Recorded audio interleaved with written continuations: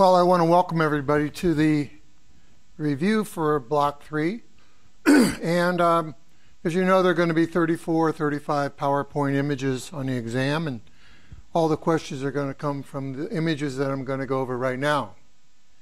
So the first question you'll probably see will be something related to being able to tell the difference between um, lesions or tumors, whatever, upper motor neuron, lower motor neuron, premotor areas, uh, damage to the basal ganglia, and damage to the cerebellum, and be able to differentiate some of these signs and symptoms.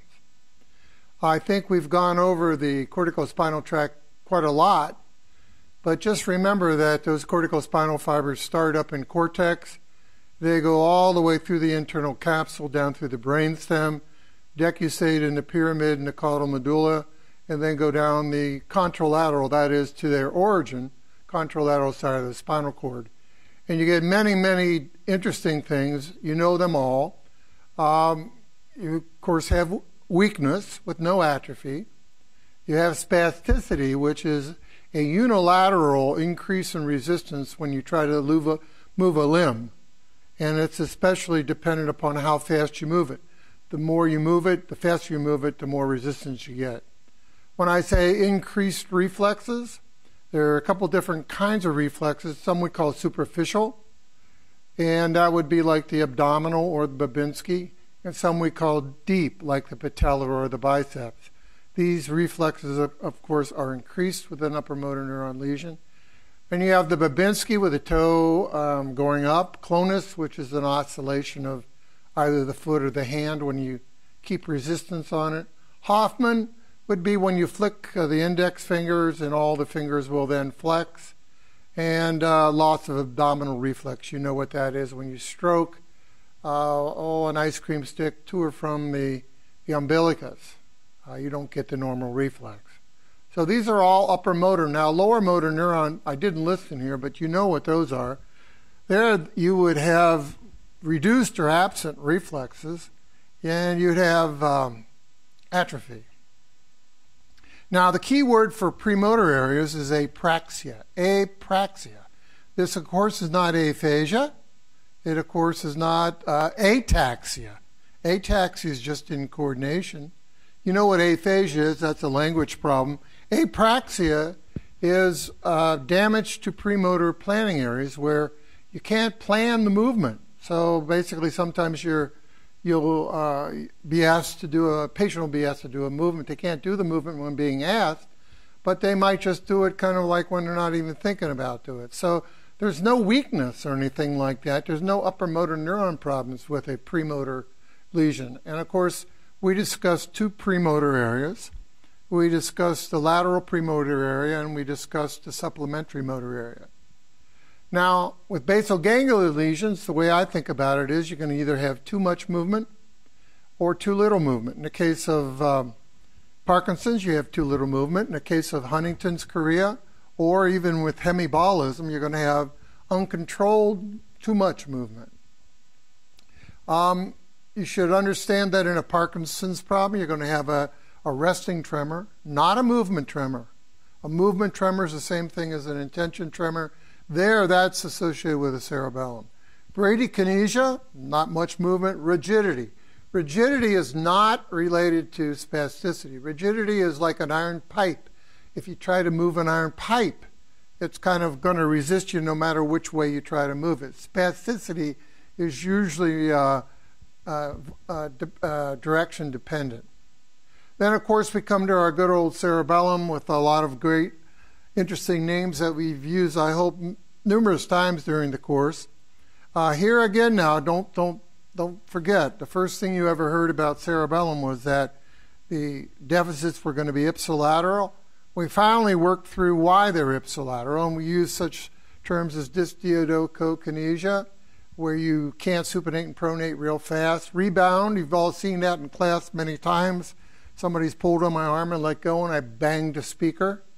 Um, dysarthria, dysarthria is just in coordination of speech. And you know, the cerebellum is the big coordinator in the sky. So dysarthria is going to be uh, seen quite often when you have incoordinated speech with cerebellar deficits. And then Here we are with our cerebellum with an intention tremor or movement tremor. Uh, I think we've also used words like dysmetria, metria meaning measure or distance. So you, you touch your touch your nose and you go by it. That's called pass pointing.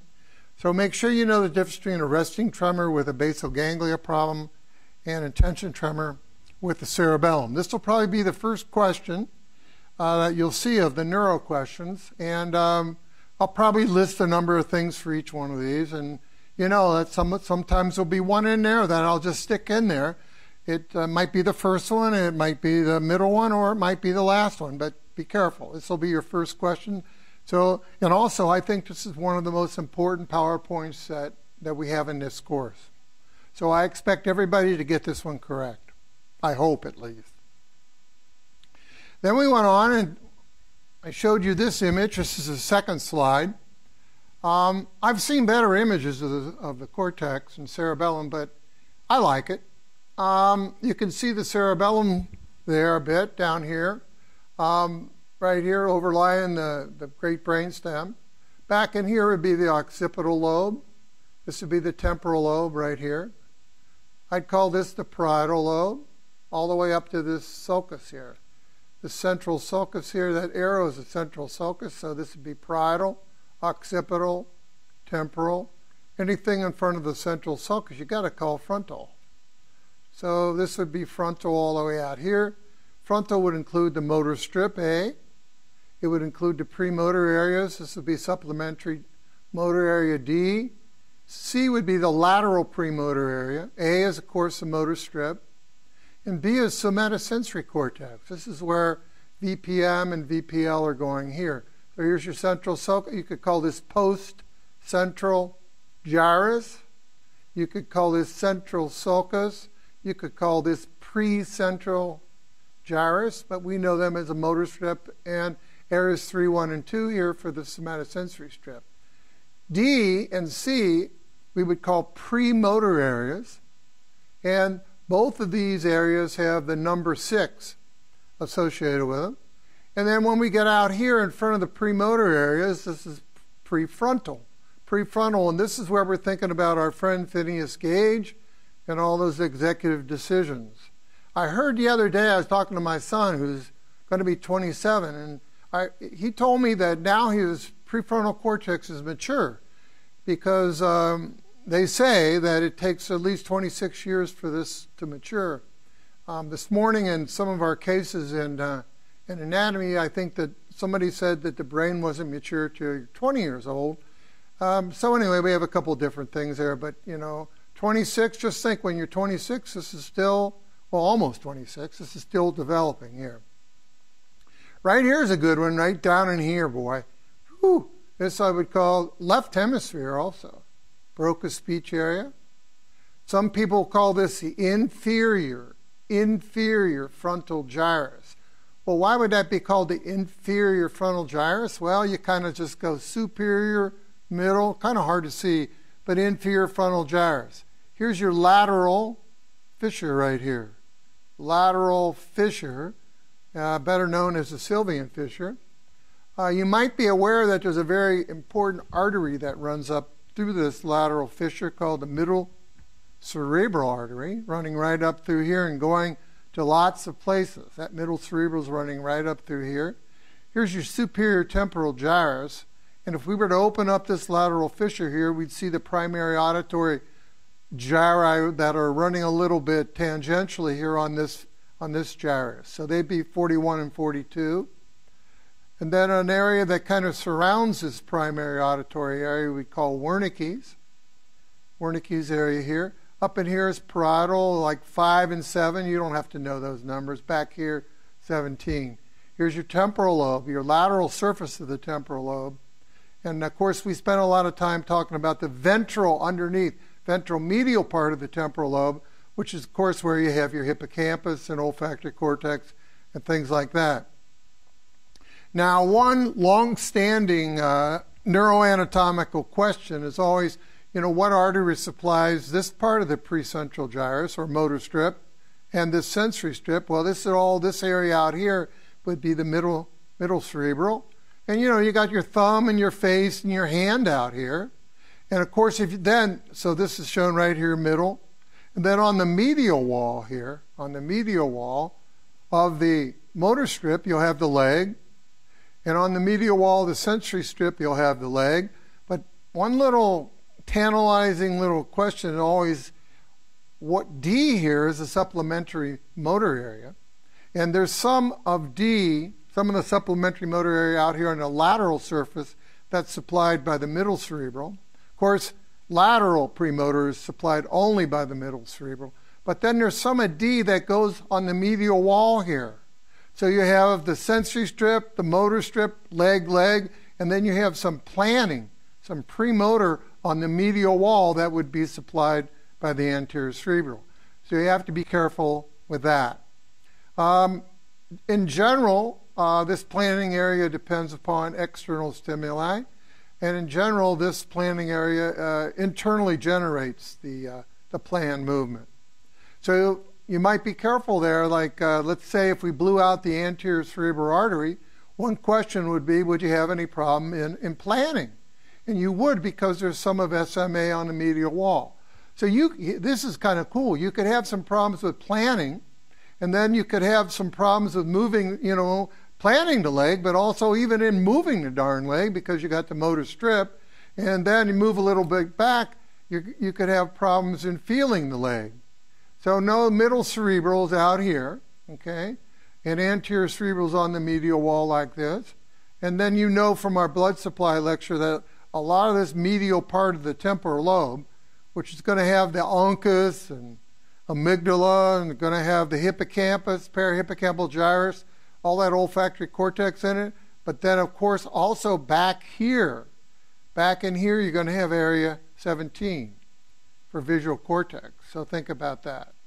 Um, what else could you get damaged up in by the middle cerebral? Well, if you're on the right side here, you could you could get damage back in here that would give you left neglect. So think about that. All right, I think I probably answered about everything in here. Let's see here. Uh, uh, let's see uh, anything interesting up here. Is this area 4A? Well, yeah. Area 4, that's too easy. M1, yes, precentral gyrus. Let me see. Oh, contains cells that fire only the contraleg moves. What, what am I saying? A. Oh, no. You couldn't, fire, you couldn't move your contraleg by firing a cell at A. You know that uh, contains cells that fire before the movement. Of course, they have to fire before the movement because they, this area has got to send its axons all the way down to the lower motor neurons in the spinal cord, and the lower motor neurons got to go out, go through the neur- and then turn on the muscle. So of course that's true. Um, how about do cortical spinal axons fire in relation to force? Yes, they do. Yes, they do. So it, it'll if it needs more force, it fires a little more. If it needs less force, it fires a little less.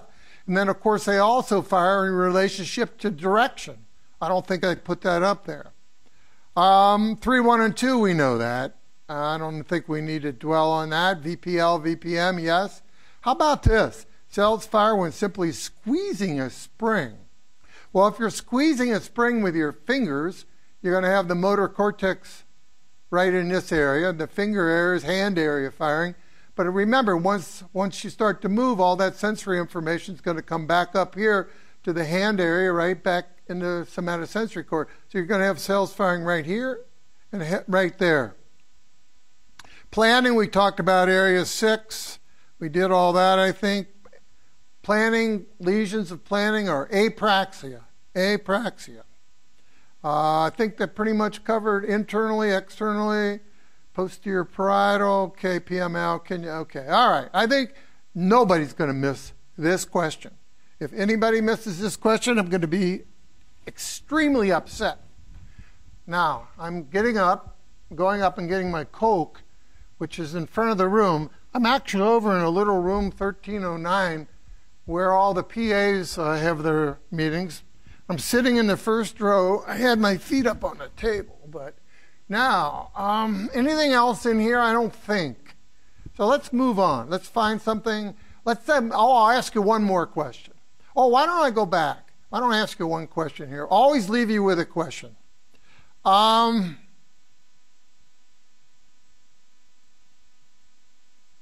Hmm.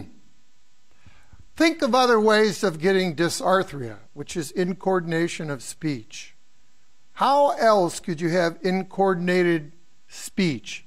Now, we're not talking about an aphasia here like Broca's or Wernicke's. We're talking about incoordination of speech. Just think about that. I, you know, uh, that'll give you something to think about on this slide. You know, on this slide right here, oh, let's just say if you blew out your middle cerebral artery, would your auditory cortex on the same side lose its blood supply? And what are the numbers of the auditory cortex? That'll I'll leave you on that one. So let's go to the next. Oh, you know I love this. Basal ganglia. Let's go through the players. Well, everybody's been sending me emails that said we don't understand the slides, Big John, because you didn't go over them like you did in brainstem, and I, I feel guilty, but of course, you know, I feel guilty about everything. But um, as we go up into thalamus and basal ganglia, as we go rostral to level 10, remember I told you, you're either going to have the basal ganglia here or you're going to have the thalamus. Now, if you start from the midbrain, you're going to see more thalamus first, and then as, it, as the thalamus gets smaller, the basal ganglia will get bigger and you've got these limbs of the internal capsule. That's basically it. As you go rostral, you're going to have thalamus or you're going to have basal ganglia. And down below, you're going to have a little hypothalamus and a few other little things. So let's go over this, okay? here's the caudate and here's the putamen. Together, they're called the what? Well, I hope you know it's the striatum. Then you go right in this little, well, they call this lens shaped, but uh, I've had some questions about that. Here's your putamen. Notice what it looks like. Does it look like the globus pallidus or does it look like the caudate? Well, that's why together these are called the striatum. It's really one big nuclear group divided by the internal capsule. But the cells in here and the cells in here are exactly the same. Now, this whole thing here is called the lenticular nucleus. Lenticular, which is the putamen and the globus pallidus in here. And then, of course, we have two parts of the globus pallidus. We have an external and we have an internal. And the outflow of the basal ganglia is going to come from this internal segment. One of my favorite pathways is called the ANSA, little jug handle. You can just see this like a, a little handle on a beer at, at your, oh, you don't have, you don't have handles. I was thinking of the Terrace, but those are cups, aren't they? Well, let's see. Where could you? Oh, I know. There's a there's that one place downtown that's got those big mugs, but th- let's see. They don't have handles either.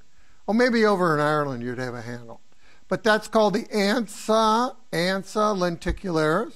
Goes up to the VAVL. When I think of the VA VL, I think of the motor, motor, motor. I've said it three times. Motor thalamus. From the motor thalamus, of course, it's got to go through the internal capsule to go back up here to motor related cortical areas.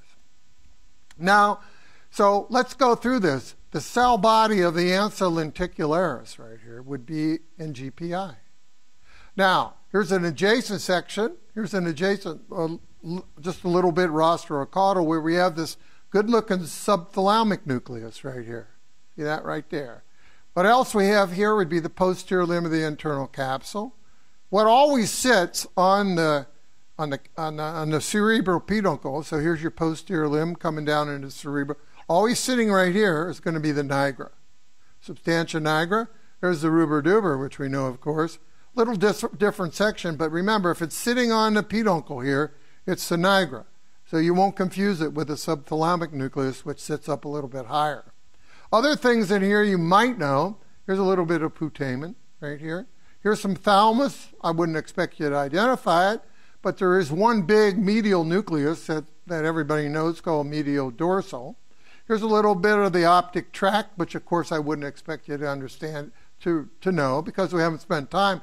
But this is a very convenient little thing going under the lenticular nucleus. Wow, I didn't even know that one. I, I should have asked this. Anyway, this part of, here's your posterior limb. This part of the internal capsule is going under the lenticular nucleus, so we call it sublenticular. And it, you know, and it's going out in here to the primary auditory cortex. So these axons right here have their cell bodies in the thalamus and the medial geniculate body. So sublenticular, medial geniculate body, which is caudal to this, have to send their axons under the lenticular nucleus to go out to areas 41 and 42.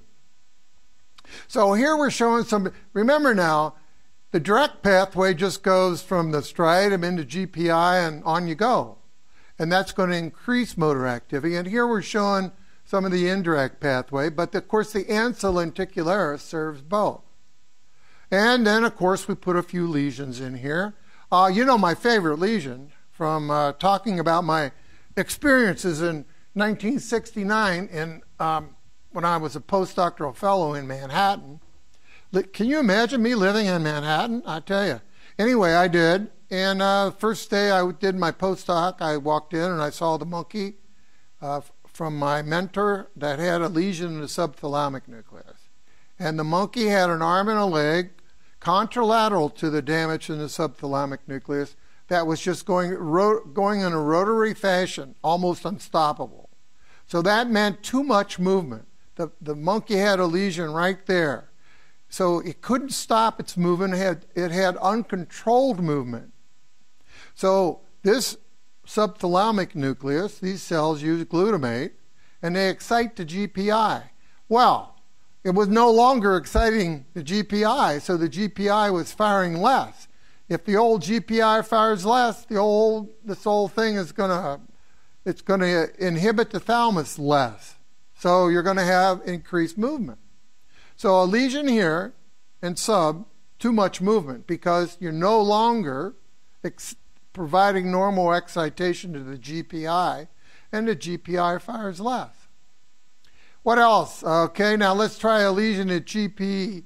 This, this one right here, GPE, which is right here, does what to the sub? It inhibits the sub. So if you lose that inhibition, this guy's going to fire like crazy. It's going to be the opposite of having a lesion in the sub. Having too much, instead of having too much movement, you're going to have too little movement. So once you know the sub, if you just go back and say, I'm going to think about Big John back in 1969 trying to live in Manhattan, and that first day he went to work and the monkey had a lesion in the subthalamic nucleus, and the monkey was just going on and on and on and on with too much movement in the contralateral arm and leg. And you can handle anything. Of course, if you got too much movement, what are you going to do with dopamine? You're going to pr- try to calm it down, inhibit dopamine. What are you going to do with acetylcholine? Well, you're going to try to slow down that direct pathway, so you're going to use acetylcholine agonist. If you if you have too okay, if you don't have if you got too little movement, you're going to use a dopamine uh, agonist, and you're going to try to inhibit that acetylcholine. So I don't imagine too many people are going to miss this. Let's see. Would I ask you to identify these individual structures here? Oh, I probably just have this up here or have this up here. I'll try to help you out. Uh, transmitter here from cortex, I hope you know, is glutamate, only because it's, I want you to know it's excitatory. This, sub, this projection from the subthalamic nucleus uses glutamate, and this uh, thalamocortical pathway from VAL, VAVL uses glutamate too. All right, so I'll leave you with a question here. Uh, da, da, da, Let me see here. Um, what would happen? What would happen if you stimulated, stimulated, you stuck electrode in the ansa lenticularis? There's no lesion here. What would happen if I stuck an electrode in the ansa lenticularis and stimulated it so it fired more?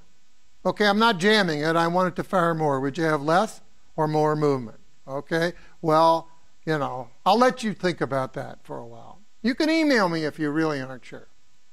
Let's go to the next one. Okay, now, I know how you feel about cerebellum. I've taught this course 40 times. 41, because one year I had to teach it twice. Never have I been satisfied with how we present the cerebellum. I don't know what it is about the cerebellum. The first time I ever gave a cerebellum lecture was my first year as an assistant professor.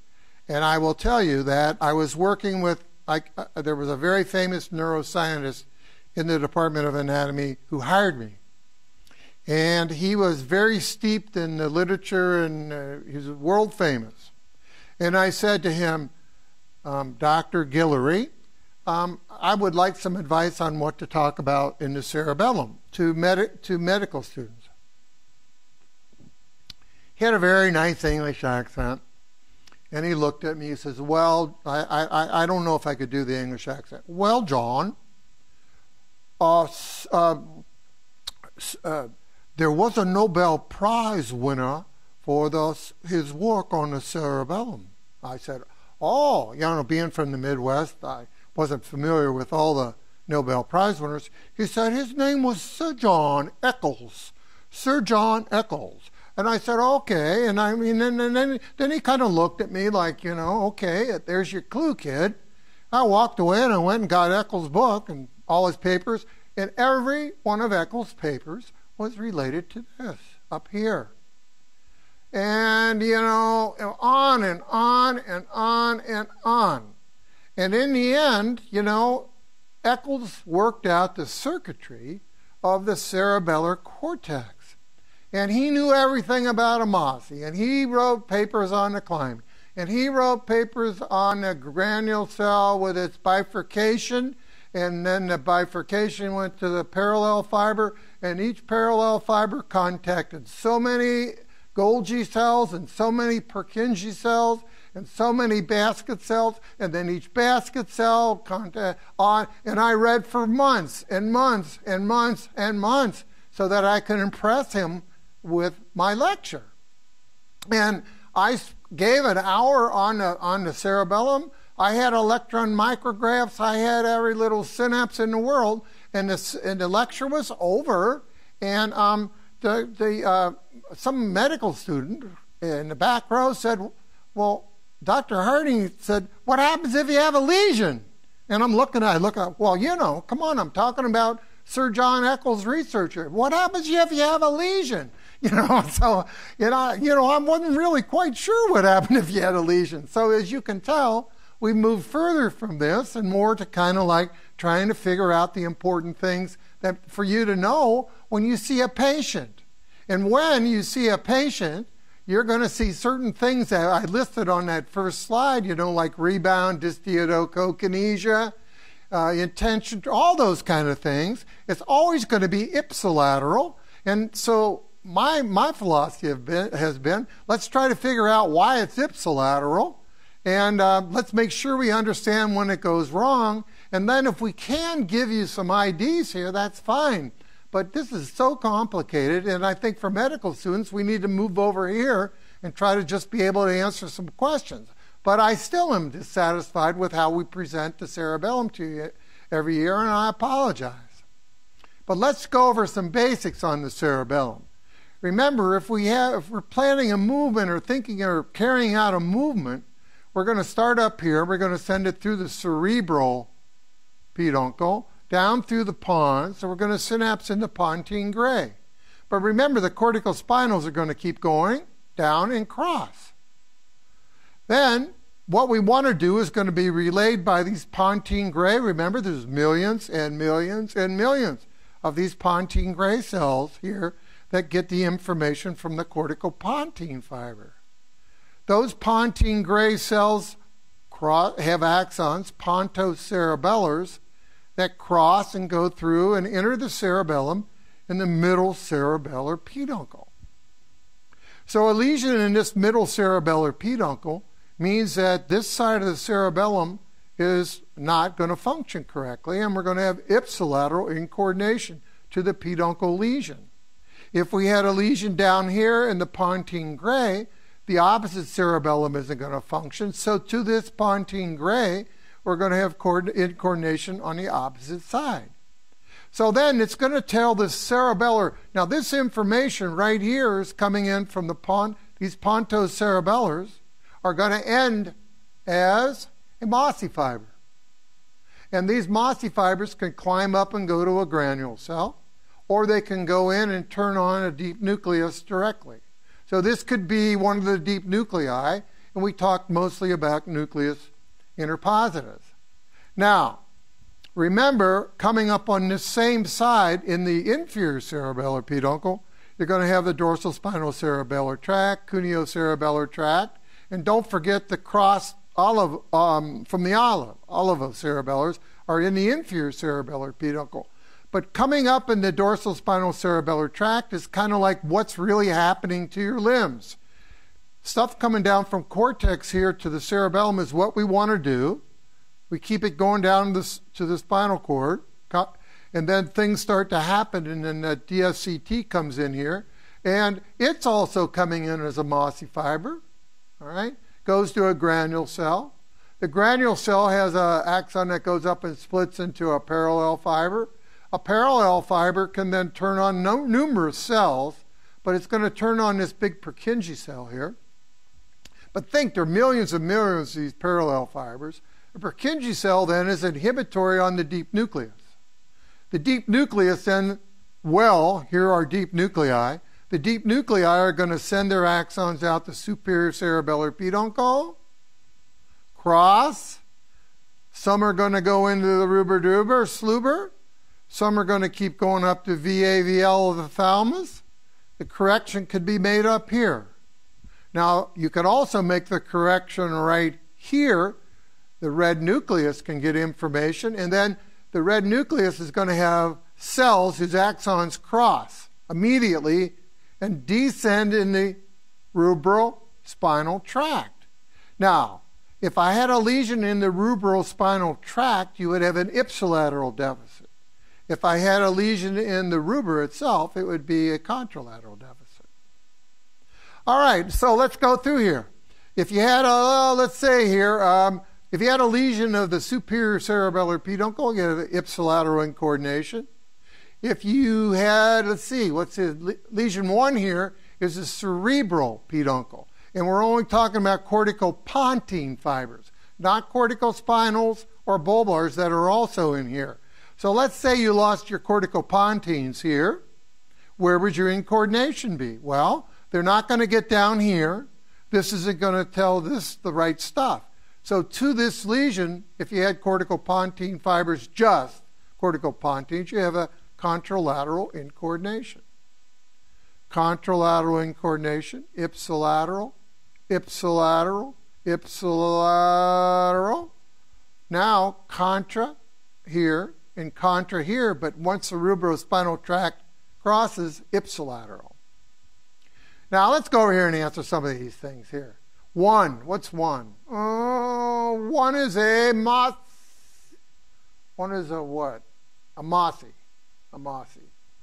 And can it arise from Clarke's? Yes, accessory cuneiform. Now, two, where's two? Oh, the inferior olive. The inferior olive is also going to send a little twig to the deep nucleus but then it's also going to climb up there around that Purkinje cell and have a huge influence on that Purkinje cell in motor learning. In motor learning, yes, we should know that. Three, PERK powerfully, powerfully inhibits the deep nucleus. Yes, it does. But remember that deep nucleus, which is going to send its information like this, that deep nucleus is getting excitation from from the olive directly and from the mossy. So it's excited. It's just now this, which means it's inhibitory input, just going to kind of fine tune it, modulate it. When it fires, when it fires, this will fire less. If it, if this, you know, so this is firing up and down, modulating this input. Let's see, firing rate determined by mosses climbing. Yes, oh my goodness. Let's see what else. I guess that's about it. Let's see, five. Oh, let's go five right here. That's a parallel fiber. Let's see what I said about. The firing is related to mossy fiber granule cell firing. Well, here's your mossy fiber granule cell firing. So yes, well, how this fires, these parallel fibers will fire. The synapses on PERKs are modulated by climbing. Oh my goodness, yes. Can you imagine on all these little parallel fibers? Just, you know, there are millions of them, but you know, they don't, you know, there's millions, so they don't have that much of an influence because all, all million are not terminating on that PERK. But my goodness, think about the climbing fiber. One climbing fiber is going to go to only a few Purkinje cells. So that climbing fiber has a huge, huge influence on the firing of the PERK. Parallel fibers, much less. Cerebellum. I love it. Okay, one question I could ask you. Ooh, so you know ataxia? You sure that's not aphasia? Are you sure that's not apraxia? Oh, movement tremor. Oh, Pierre, movement tremor. Is that the same as an intention tremor? And oh, by the way, Pierre, is that different than a resting tremor in basal ganglia disease? Oh, my goodness. Oh, my goodness. The other thing you might want to think of are what are the two decussations in this whole system that we've emphasized for a lot? Okay, so, oh, the question. Did I leave a question? Let's see. Mm-hmm. Um, oh, here's one. Let's say I had a lesion in the decussation of the superior cerebellar peduncle. I had a lesion right there. What would happen to your patient? All right. Next slide. Oh, now we're in vision. I had to take a swig. I only got till 4 o'clock. I'm not going to make this. Anyway, or was it 5? But anyway, um, Dr. Heatley, one of my former students, oh, this, what is this? I want to round up. Does everybody know what that means? This is your lens. It always wants to round up, so these zonial fibers here are putting some tension on it, and it kind of flattens it. And these zonial fibers are being controlled by these muscles here the radial fibers and the circular fibers. Ciliary body. The ciliary body is right here. The ciliary body includes these muscle radial fibers, circular fibers, and there's cells around here that make the aqueous. So, when these fibers, circular and radials, contract, both of them, they take pressure off the zonial fibers, and this will round up. Now, this will be controlled by cranial nerve 3. Uh, postganglionic parasympathetics would be where? They'd be in the ciliary ganglion. All right? Now, when we go in here, it's kind of different. Here are the circular fibers of the iris. Now these, when these constrict, it's going to make the pupil smaller. So this is under parasympathetic control. These radial fibers here, right here, are going to make this pupil size, going to pull it this way and make the pupil larger. So these are under sympathetic control. So as far as the parasympathetic control to these circular fibers, it would start out of Edinger-Westphal, go to ciliary ganglion, postganglionic end would come in here for paras. And here in the sympathetics, you know, you've got to get everything out of T1, T2, go up the trunk to the superior cervical ganglion. From the superior cervical ganglion, those postganglionics are going to come in here to the dilator. So this is your iris. So here's your trabecular meshwork where that aqueous is reabsorbed. Here would be uh, the cornea where most of the the light is bent much more than in the lens, but of course the lens can, uh, we can control the lens. Um, let's see, this is your anterior chamber, this is your posterior chamber, this is your vitreous chamber right here. Uh, I think that's about all I probably want to. Oh, I know. Um, we didn't talk much about transmitters, but preganglionic um, paras would be what cholinergic and postganglionic are cholinergic, and I think uh, for the sympathetics, uh, preganglionics would be cholinergic, post, or norepi. Uh, we haven't talked about that, so I probably won't ask you that. Um, that's that. I kind of like this one. Um, let's go next one. All the retinae. So when you look at this, right, this one right here, you should kind of know where the vitreous would be. Where would the vitreous be? Well, it'd be right in here. So this would be your ganglion cell layer right here. Here'd be your bipolars, rods and cones, here, the tips of the rods and cones. Here's your pigmented layer right here, pigmented epithelium. Here's your choroid. Ooh, that choroid's got some blood in it. So the blood back in here would be coming from what? What artery? Probably the posterior ciliaries, which would be a branch of the ophthalmic. Um, what else would I? Well, cones are good for what? They're good for color and acuity. Rods, they help you see uh, later, you know, at dark, help you watch those stars. out there, if you got a if you got a date and you're out there looking at the moon, you're going to be losing those using those rods. No, I don't mean losing your rods. I mean using their rods. Um, cones go. They have a private line to the ganglion cell for acuity. These cones will go right to one bipolar and jump into a ganglion. These poor cones. I mean, my goodness, they don't have a private line. They got to share a bipolar. Here you got those three rods here sharing one bipolar. I think I asked you where the optic disc is. The optic, uh, since these ganglion cell axons are going this way, the optic disc has to be this way. And also, these are these axons right here from these ganglion cells are going to uh, form the axons, go through the optic disc and form the optic nerve. So some of these are going to go to the pretectum, some are going to go to the superior colliculus, some are going to go to the good old lateral geniculate body. So I want you to know that. Um, here's your fovea. Here's your fovea. So these would be, what do you think? This is your ganglion cell layer, bipolar. So you can see that that image is coming right down on those receptors, and cones, pure cones receptors right here. As far as numbers, I don't know. I don't like the numbers. You know this. Nobody's going to miss this slide. Let's see. Let me ask you a question now that you might not get. Mm-hmm. Ah. Uh, let's see what what's all this pigment what do you where what happened to these rods and cones these these uh, tips of the rods and cones they're being regenerated quite often so think about what happens to them as we as they make new ones you got to get rid of that trash in there that might be one question um, the other question would be oh i know one if you're out there with your with your boyfriend or girlfriend and you're looking at the stars why don't you want to look directly at the star? Why, why do you want to get it a little bit off your fovea? Maybe that's a good question. That's kind of fun. A question I could leave you with. Okay, dokie. Uh, what could I?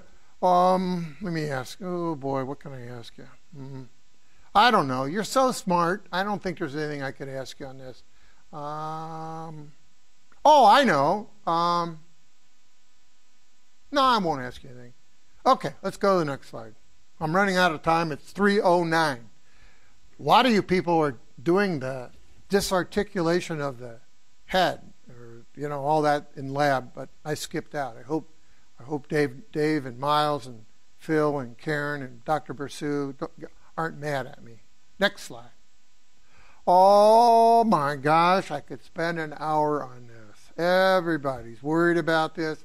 Well, I love this. Let's see, where should I start? Well, let's start here um, with, uh, let's just say that this would be your nasal retina, right here. This would be your temporal. Here's your chiasm. Here's your optic nerve. Here's your optic tract. Here, right here, is one of the coolest nuclei in the world called the lateral geniculate body. This is part of the thalamus, part of the thalamus. And then you've got, of course, the pretectum and the Edinger-Westphal and all that stuff in here. And coming out of the lateral geniculate body, you've got fibers that I would consider being in the retrolenticular limb of the internal capsule, or we also call these the optic radiations. Optic radiations. So the cell body for the optic radiations would be in the lateral geniculate body. Where do the optic radiations terminate? They terminate in visual cortex back here, area 17.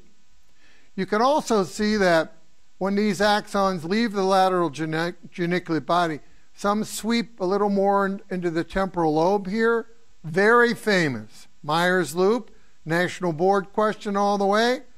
That would be E and the other ones just kind of sweep back a little more dorsally. And I'll show you that up here. So uh, Meyer's loop right here would be right there. And F right here would be here.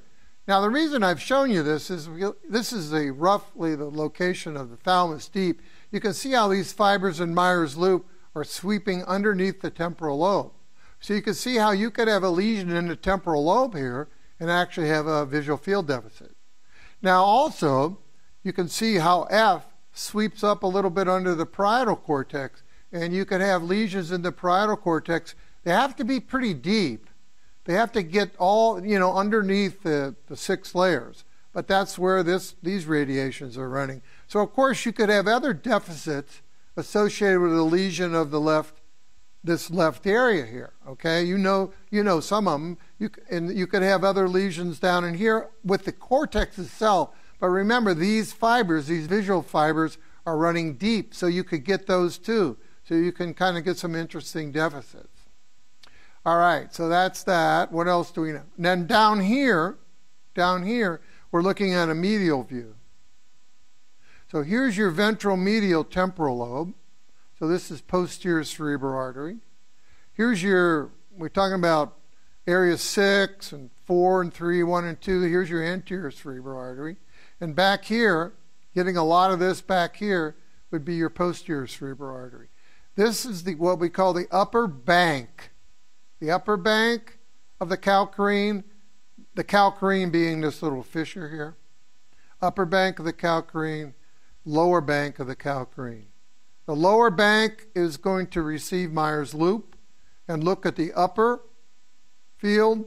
The upper bank is going to look at the lower field. So we can we'll cover this. Don't worry. What else would you have to know on this? Uh, probably nothing else. Okay, just know the blood supply on this medial view here. Um, let's go up and do a few lesions. Um, let's do a lesion of A. Now, as far as I'm concerned, you're going to get a relative afferent pupil defect only when you have a lesion of A. Now, we do know that if you have a, a pretty big detached retina, more than half the retina, you, you can get it too. Why don't we just think for our exam that you're going to you need to have a lesion of A to get a relative afferent pupil defect. The, none of the other ones will. Trust me.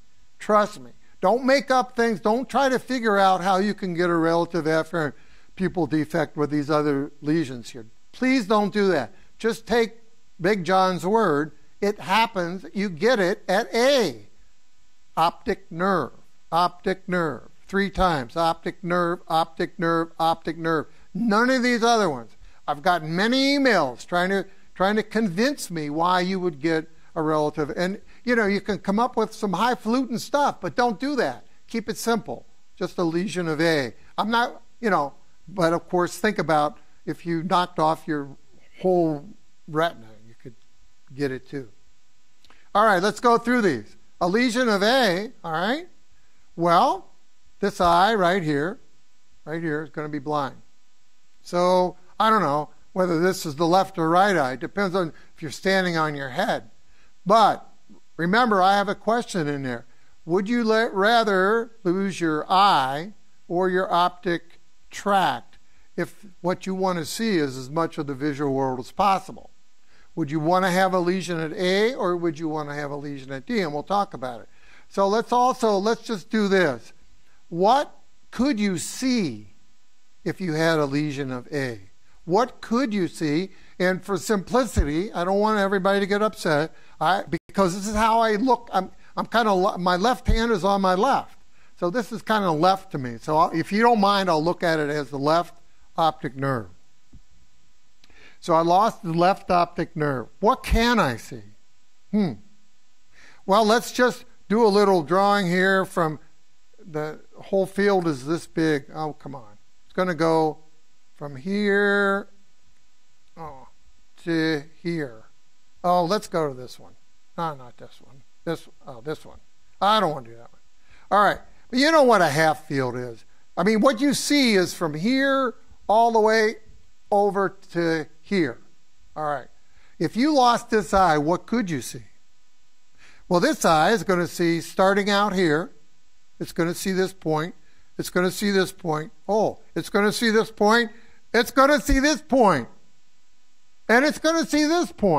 And it's going to go right over to there. It's not going to see this. So let's do it again. If you lose this, what can you see? You can see here, here, here, here, here, and probably to there. You got, you're probably missing a quarter. You can see a lot. Okay. Now, that's what you could see or that's what you could lose. would you have a relative afferent pupil defect? Yes, you would. Yes, you would. Now, if you had this lesion, would your pupils be symmetrical? Yes, because light's coming in from this eye and it's going back in here and working its way in. And both Edinger Westphals are getting pretty good, same amount of information. So your pupils are going to look the same. Symmet- they're going to be symmetrical in size. The reason they're going to be a little larger is there's less light reaching this black box because this A is, means there's less light getting into this whole area. You're only getting this light in from this eye. So this black box here is getting less light. The less light the Edinger Westphal gets, the less it's going to fire. And you know the Edinger Westphal constricts. So if the Edinger Westphal is firing less, the pupils will be a little larger. Symmetrical. So you come over here and put the pen light in this eye. This eye here, what's going to happen to your pupils? This one's going to constrict, right? And this one's going to constrict. Flip over here real fast, what's going to happen? You're going to watch this eye, both eyes are going to what? Both eyes are going to die. When the light's here, it's not getting any light. They're both going to dilate, constrict, dilate, constrict, dilate, constrict. A relative afferent pupil defect at A. And the only place you're going to get it. I'm not going to do C, you know, that's, you know, well, I could do it. I could say, let's see here. Well, again, you know, if the only place you get a relative afferent pupil defect is A, it's not going to be at C. But if you cut C, you can go back to this temporal retina right here. So these fibers are coming from this temporal retina. This temporal retina, does anybody know where this temporal retina is looking? Well, first of all, is your patient going to have any real, I mean, is sitting there with their eyes open, or are they going to complain with any about any de- defect? Are you going to find any defect? Well, where is this temporal retina looking? Where is this temporal retina looking? From this eye. All right, let's do this. Let's play the game again. Is it looking here? No. Is it looking here? No. Is it looking here? No. Is it looking here? Wait, get up there. Yes. Is it looking here? Yes. This temporal retina is looking, here's your nose. This temporal retina is looking here, here, and here. This nasal retina, let's do the nasal retina because I know there's some of you who are confused. Where's this nasal retina looking? Are you ready? Yes, yes, yes, yes. Now let's do this temporal retina. Are you ready? No, no, no, no. Yes, yes, yes. Where's this nasal retina looking? Yes, yes, yes, yes, yes. Each nasal retina sees the whole hemifield on its side. Each nasal retina sees the whole hemifield on its side. Each temporal retina looks over here, this temporal retina, over here, this temporal retina over here. All right, so let's go back. And so now think with a lesion, if you lost this temporal retina, it's looking over here, but this nasal retina is covering for it. Isn't that cool? Now let's do B. Again, no relative afferent pupil defect because I said only there. So what's happening here? We're losing our two what? We're losing our two nasal retinae, aren't we? We're losing, what's this nasal retinae look at? Yes, yes, yes. What's this nasal retinae look like? Look at? Yes, yes, yes. Okay, it's gone. But what's this temporal retina looking at? Yes, yes, yes. And what's this temporal retina looking at? Yes, yes, yes. So you you can see a lot with this this particular case here with B because you're seeing everywhere your temporal retinas look. You're just not going to see way out here and way out here. Who cares? You know, and we're not think about it. Just can you see anything out there anyway? Look at think about it. I mean, you know, you can see it, but you don't sure and heck don't pay attention to it. D. D. optic tract. Very important. What are you losing here? You're losing this temporal retina. Where's that temporal retina look? Over here. You're losing this nasal retina. Where's this nasal retina? All the way over here. Here. So you can't see anything. If you lost D, you could not see anything from this point to this point to this point. Is that better or worse than losing your eye? It's a lot worse than losing your eye. And of course, there's no there's no relative afferent pupil defect. Optic tract. Now, pretty much the same. You have a lesion here, not going to be any different than a lesion here. All the information here goes here. All the information here goes here. So a lesion of this optic tract is going to give you the same visual field deficits, all right? Going to give you the same visual field deficits as a lesion of all the optic radiations or all the all of G. We already did E. E is going to the lower bank, so it'd be an upper quadrant. F is going to the upper bank, so it'd be a lower quadrant. What Dr. Healy didn't talk much about in these quadranopias here is how are central and peripheral retina distributed along here. Remember, here's your calcarine fissure. Here's your upper bank, your lower bank. So the upper looks lower, lower looks upper. But remember, you also have central and peripheral vision back here. And central would be right back here. Central vision, stuff you can see more of, more macular visions back here, and peripheral visions this way. So it's in this axis that that's mapped. So this would be upper visual field, lower visual field on the opposite side. Central. Central. How are you going to remember that? Central. C caudal. C caudal. C caudal. Peripheral. P. All right. What else here? I think we've done everything. I think. So let's leave you. Let's leave it on one here. Um, let me do something here. Okie dokie. Um, visual fields, visual fields, visual fields.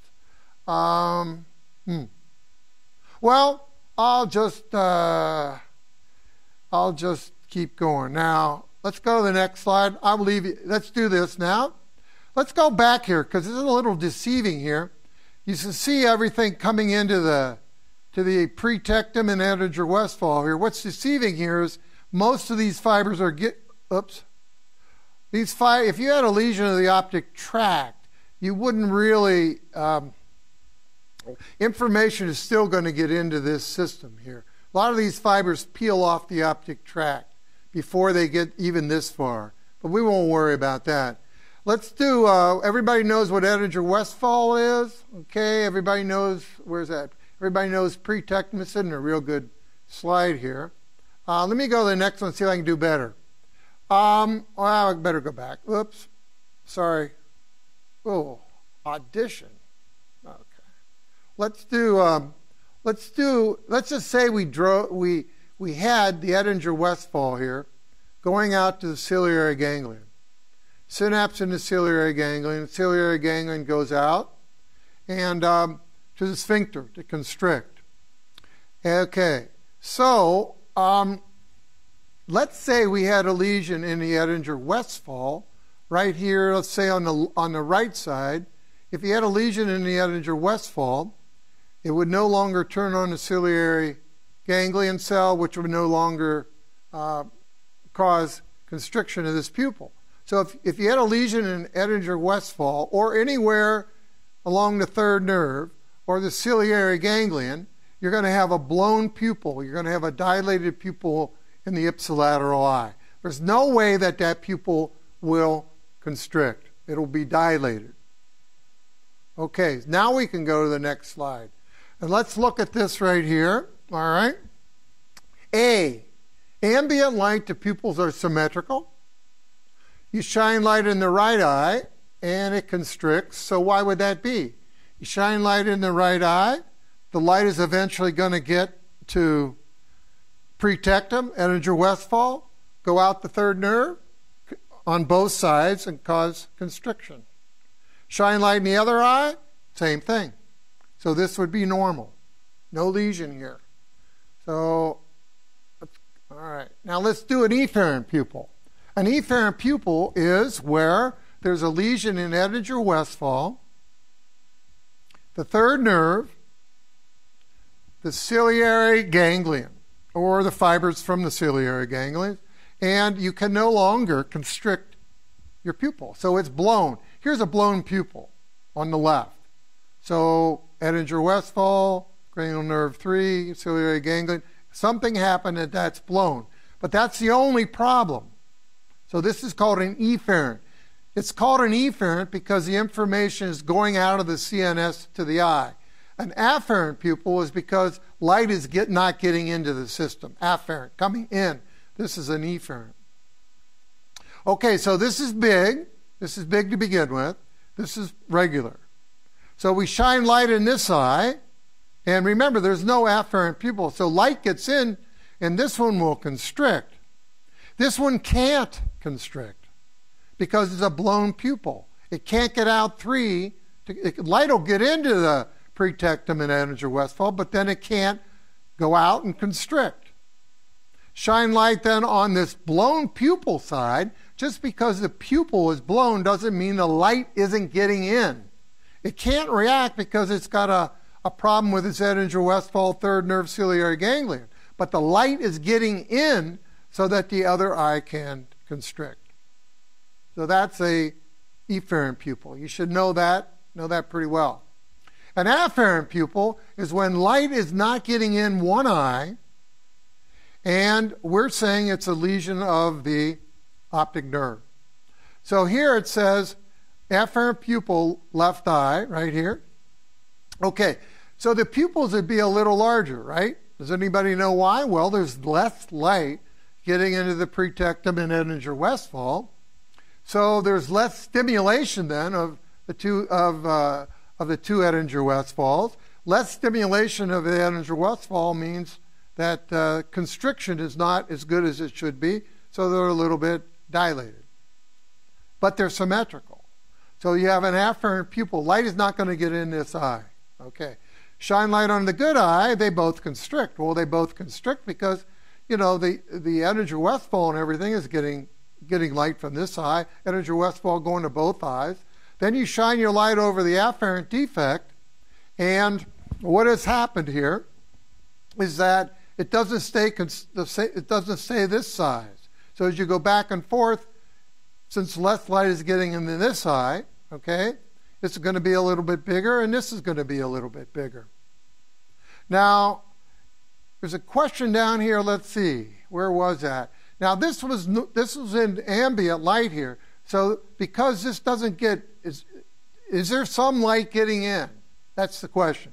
There is some light getting in because this isn't as big as, as these right here. So some light is getting in, but if you compare this size and this size, um, you can see this is smaller than this.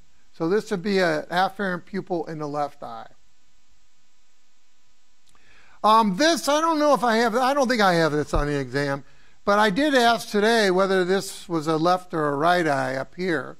And I always go to the disc. The disc is on the left here as you're looking in the person's eyes, so this would be a left eye. This would be the fovea right here. Here's your central retinal artery right here. So this would be a left eye. When you do his hill of visions here, now this is a, the visual field.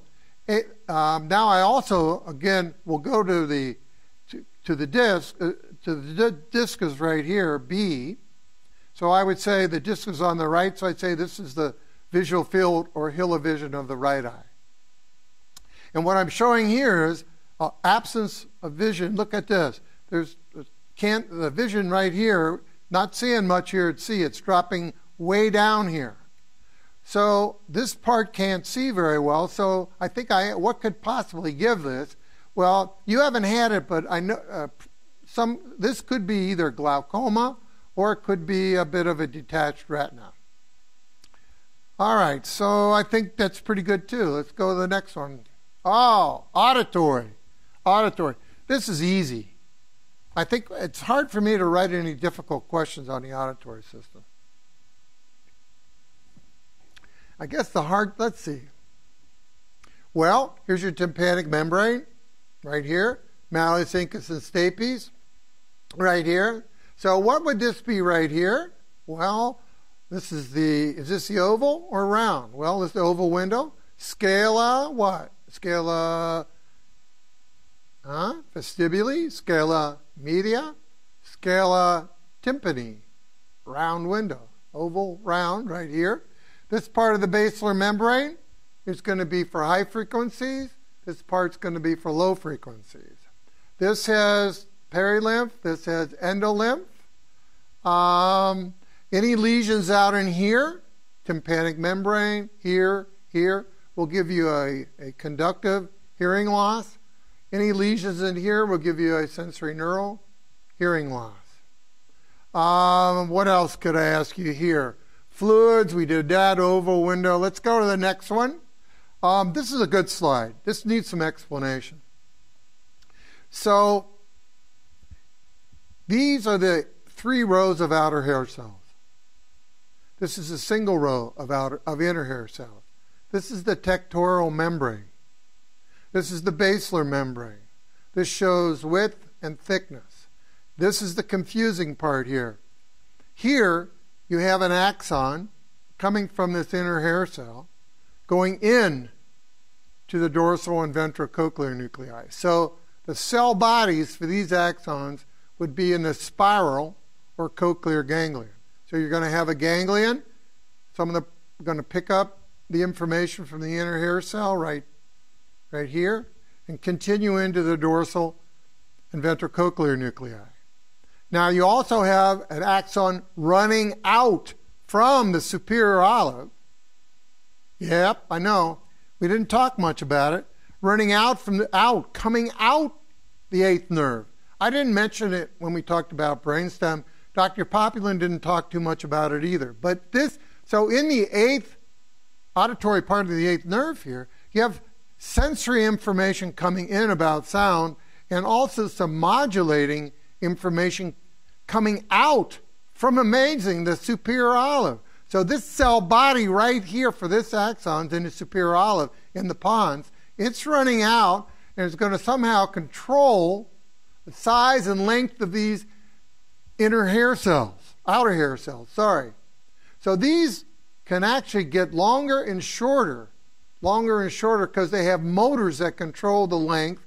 And then if these can get longer and shorter, eventually they're going to do something to the tectorial membrane and control the sensitivity that's actually be, coming in, the sensitivity of the sounds being picked up by the inner hair cell. So actually, when you get presbycusis like me, at the base of my basilar membrane, I've lost a lot of these um, these uh, outer hair cells here, and um, it's so that my basilar membrane isn't as sensitive as it should be. So even though these now there is some information coming from these in, but not much. So these are being controlled by the brainstem, and they make the basilar membrane much more sensitive. And in fact, like I said, in cases of presbycusis, these cells are dying, not so much these cells, which causes my, my hearing loss. Um, again, don't just remember down here, going to be high frequencies, up here, going to be low frequencies. This area up in here would be the helicotrema. Uh, you know about the kinocilium. You have to have movement towards the big kinocilium to get excitation. The other way would be inhibition. Uh, I think that's about it. I think you can answer this question pretty easily. Um, again, don't forget anything down in here in this conducting apparatus, like say you got a lot of hair or wax in your out here before the eardrum that give you conductive loss, ear tubes that give you a conductive loss. And your, you know, if your child has ear tubes, they're going to have a little bit of a conductive loss. It's going to heal over, but they should have a little bit of a conductive loss. Middle ear problems are going to give you a conductive loss. Okay, then you get in here, you're going to get a sensory neural loss. Now, what do you got to know here? Ah, yeah, yeah, you know, I've harped and harped and harped on this. I don't know. I, I, I don't know. Um, I hate, I hate this. Uh, I hate the fact that you don't know every little detail. Either give you too much or too little. Sometimes too little kind of gets you all upset. Well, here's the here's the ganglion. So it's coming in from the inner hair cells, goes to the dorsal and ventral cochlear nuclei. That you know. So if you had a lesion here, you're going to be deaf. Now, how do the, now these dorsal and ventral cochlear nuclei have cells whose axons go up. You know, they're going to go up, and some are going to go into the superior olive. Uh, if you're in the superior olive right here, you can cross in this trapezoid body and go into the opposite lateral lemniscus. You can go up this lateral lemniscus here. It's pretty hard to identify.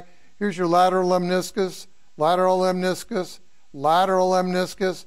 But this lateral lemniscus has the synapse in the inferior colliculus. How do you know it's the inferior? Well, here's the superior with the ruber-duber.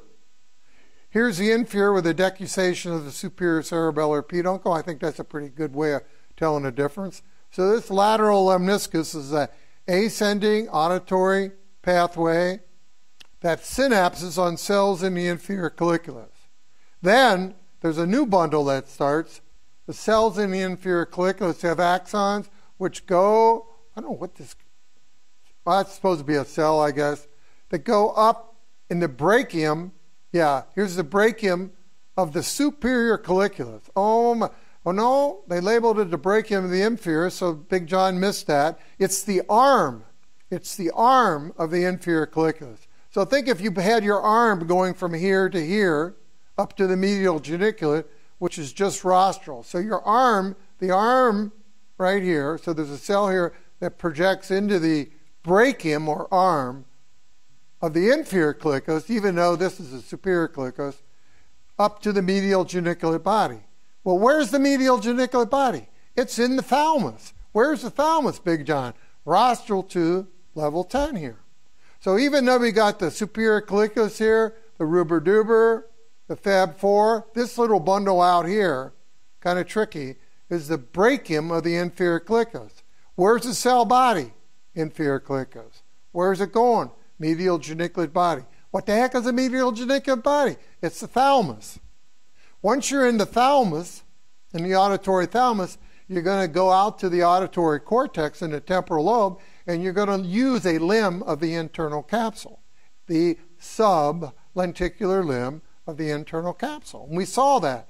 It's a big bundle of axons going onto the lenticular nucleus. The lenticular nucleus being, of course, the putamen. What else? And the globus pallidus, but at the level we saw it, it was mostly the putamen. So, what would I ask here? Oh, I don't know. Subtle auditory deficits, things like that. You're probably sick of this, but I'm sure you all get it right. No, this is the inferior. Uh, what else? Mm, lateral limb. If I ask you to ID, that'd be, I don't know. Lateral lemniscus, I guess, is okay. Brachium the inferior clear. I know since I mentioned it, you, and of course I missed it. You all know it, so I, I feel it's okay to ask you this and uh, dorsal ventricular. I think you should remember that too. This I like because this is very applied neuroscience. It shows three audiograms. A is an interesting one because it shows if you play the stimulus by air, the top up there, the air, it's perfect. I mean, no, bone is perfect. So there's an air bone gap here. So here they were playing the stimulus probably on your mastoid. Look at that, perfect. Perfecto. Then this would be played by, by air, and it doesn't work as well. And so look how it's, you, this means you got to play it a lot louder. Here you played it at normal and you heard it via bone. Here you had to play it a lot louder. So there's an air bone gap here. Air bone gap. This is an air bone gap. Bone, air, gap. So this means that there must be something wrong in the conducting system, correct? Because if you play it by bone, you're getting right in there and vibrating those fluids. If you're playing it by air, you got to go through the middle ear and all those kind of things. So this number of things could give you this air bone gap. Anybody got any idea? Well, you could have wax and in your ear. You could have something wrong with your middle ear. You could have a middle ear infection, something wrong with your malleus incus or stapes. So that's this is a good one here. This could be the air-bone gap conductive loss. Now here, holy moly, this I call a notch. Now, in most notches, you see it's air and bone, air and bone, air, and then boom, it goes up, drops down. In many cases, can go back up, so that the damage is right. The damage is to your basilar membrane only about that part that picks up about 4,000. So it's we call this a, a notch. So something was damaging, something was playing at about 4,000 here, loud enough to damage your basilar membrane, only pretty much at the 4,000 where the 4,000 is represented. And it's quite commonly said this could be a, a farmer driving a loud tractor or somebody shooting a gun a lot, a hunter, or even loud rock concerts. So this is the notch, but it's again it's um, sensory neural. Now here, this is me. This is presbycusis. How do I know it's presbycusis? Because there's a gradual decline, especially of the higher frequencies. It's sensory neural, and so this would be near somewhere near the the base of my or the the patient's um, cochlea, sensory neural. Now remember now, even though it's sensory neural, if I did the Rinne test, if I did the Rinne test, think about it. it's sensory neural, and if I did the Rinne test, would air be better than bone? If I did the Rinne test, would air be better than bone? Yes, even though I have a sensory neural loss, I still got some response, responsiveness, and air is always better than bone.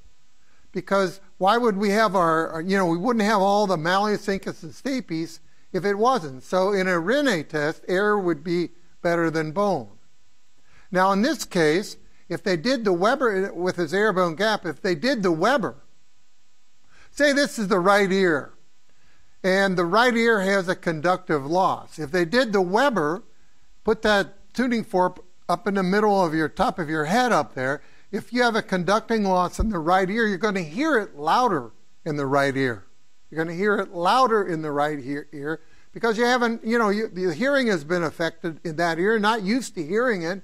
And so you're going to hear it louder in the conductive ear problem side. All right? So let's see what else here. That's that. I don't think you'll miss anything here. You shouldn't. Remember, this is Big John, and you've put up with me. This is presbycusis presbycusis, not presbyopia.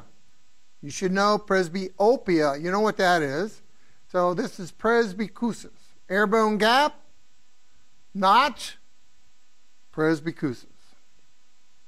Oh, this just shows it here. Oh, I know. He didn't talk much about this. He didn't talk much about. Here's what's this? This is on the bone, and then you'd go from bone to the. If you're doing the Rinne test, bone to air. Here's the good old Weber right here. Now this this brain this auditory brainstem responses here.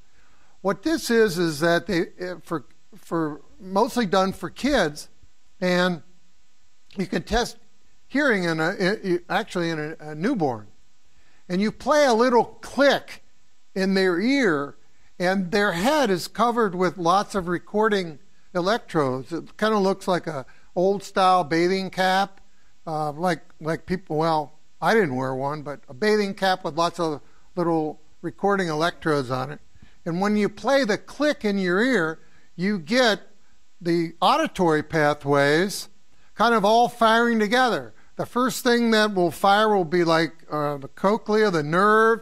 Then it'll come into like the cochlear nuclei. Then it'll go up to the superior olive. Then it'll go up to the inferior colliculus. So you can see when all when you can tell in this reading here, here's normal, and um, get my pointer up. Here's normal. So this could be like um, I, I can't actually remember, but one would be when when the cochlea and the nerve is firing, and uh, three might be when um, oh it could be the superior olive or something.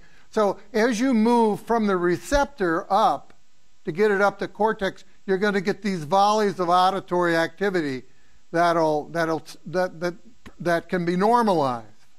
So this is a normal auditory brainstem response.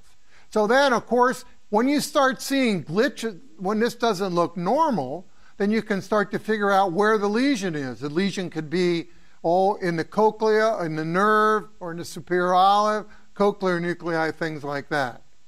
So that's all this really means. And he didn't explain this, but I think I had a I think I had a practice question on it. It was right here. Let's see. Patient complains about reduced hearing in his or her left ear. Left ear. And then I went down here and asked a question. Brainstem evoked response would show decreased latency. Well, that I mean that would be better than normal. I mean, you know, you, if, if if it's decreased latency, it happens faster than normal. Actually, increase. It takes longer to get going. It, it, it, some of the one of these will be longer because things are not working normally, so it takes a little longer to get to the next step. So I don't think I'll ask you anything about this on the exam because Luis didn't didn't talk much about it. So I think everybody will be able to handle this one. Oh, now we're on cortex. I look up at the clock it says 347. I think I only got till 4 o'clock, so I can see there's going to be a a part one and a part two. And um, let's go over this. I think sometimes my, my little things move around. Let's go through this. You know this is a what? Broca's. Tan. Here's tan. And Broca's left hemisphere. Left hemisphere. Don't forget that. It's got to be in the left hemisphere. Here's Broca's. And this area right around here would be Wernicke's. Here's Wernicke. So broke, here's the lesion. It's a big. This was a big. I think it was a, a vascular blowout that eventually formed a cyst. So this per, this particular person had a, a Broca's aphasia, and you can see it's up here in the inferior frontal gyrus on the left side. So this this per tan, the only words tan could say were tan, tan, tan. Tan was very frustrated, and um, I don't know, but Tan had a good chance of having a, a contralateral hemiplegia. So here would be the left side. So you'd have a, a Broca's aphasia. If it got into the motor strip here, you could have, you could see it, it could, you could have problems on the opposite side moving, but this is the lesion right here. And so he'd be frustrated with, a, with the potential of a contralateral hemiplegia. Wernicke's is back here in more of a receiving type aphasia. It's further away from the motor strip. This must be the central, uh, central sulcus here. So here's your motor strip. Here's your sensory strip. So let's go through some of these um, that are so uh, left inferior frontal gyrus. I'd like you to know. Oh, blood supply to these, of course, is what middle, because your lateral fissure is going to have that middle cerebral, going to get this is middle cerebral. This is middle cerebral. Um, what else? Uh, Broca's aphasia is a problem in articulation. No, it's just that you can't get the words out, but your articulation isn't too bad. I mean, Tan probably said tan pretty well. He didn't say when or something like that. Um, this is an aphasia. Remember, it's not an apraxia. Apraxia is motor planning. Central sulcus, yes, that's up here. I don't know how it got down here. Sorry about that. My, my things move around. Left hemisphere, frustrated. Potential right hemiplegia, without a doubt. Can this person comprehend? Yes. Why? Well, because that the information's coming in here. What he's hearing or reading or things like that coming in, he can comprehend. Uh, what else uh, broke a different a loss of hemisphere? Oh, lesion of this hemisphere neglect? No. Why would you not? If you had a big lesion up here, could you get right neglect? Well, it turns out there's, there's hardly any right neglect. Now, I'm not going to say there isn't a case of right neglect, but it's mostly left neglect, and that would have to be on the right side, on the right hemisphere in this area, mostly middle cerebral uh, artery distribution. When we think of a, a Wernicke's aphasia, we, we, certainly think of word salad, not Broca's. And uh, anything else in here? Lesion, lesion results in preserved, yes, okay. Um, a Wernicke's aphasia, what would they, well, they have trouble receiving. And also, man, they use all kinds of funny words. They're very fluent, though. This fellow, Tan, is not fluent. Now, I'd like to say that um, I'd like to say, somebody just opened a door. Sorry, I'm using this. Um, I'd like to say that um, I'm fluent. You know, I'm talking fluently. But fluent to me is just normal conversation like this fluent. Tan was not fluent, but Wernicke's aphasia, they're very fluent. They can talk up a storm. It's very nice, regular, smooth talk. But they got all kinds of crazy words in there, a word salad, salad, paraphasias, things like that.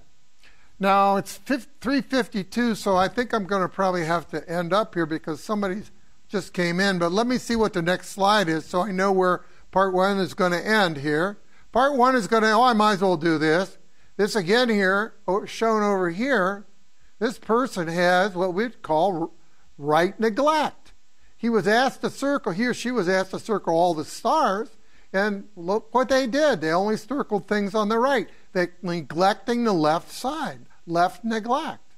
So it's a right parietal temporal lesion, a right parietal temporal lesion for left neglect. These people don't even know that the left side belongs to them. They won't shave. They could be hemiplegic. They'll say they're not hemiplegic. So right hemispheric, parietal temporal. Again, down here, Phineas Gage. I'll tell you what, I'll come back. We'll start on this because I want to go through everything that Phineas doesn't have. So I'll, I'll stop here and come back. Part two will start right here. Thanks a lot. I'll talk to you tomorrow.